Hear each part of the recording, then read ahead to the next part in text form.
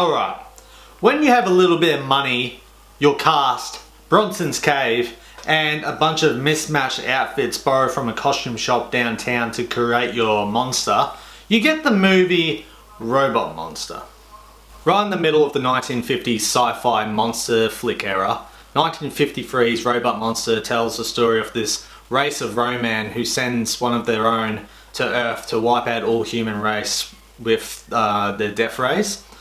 But only one family survives due to the scientific father who creates this serum that makes them immune to the Ro-Man's death rays. So basically the whole movie is the Roman roaming around trying to get his job done basically.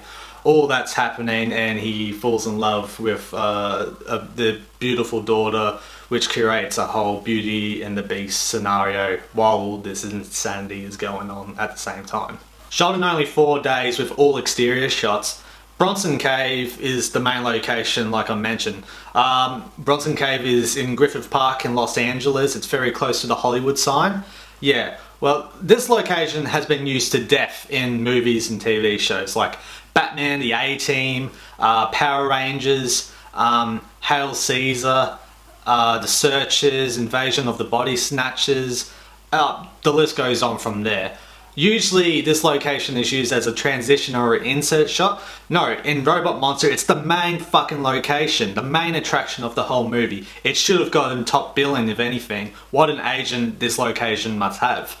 But the main eye candies of the movie are the bubble machine, which got its own credits because fuck it, you gotta love the bubbly, and the Ro-Man himself. What a fucking joke of a costume to give your monster.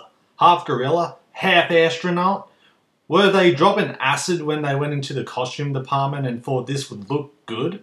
You'd think this was taking the piss of the genre, but it's the real fucking deal. There's stock footage added of reptiles fighting to fill in the time for some reason. There's time wasting scenes of just the monster walking around. For fucking ages, he's just roaming around the location.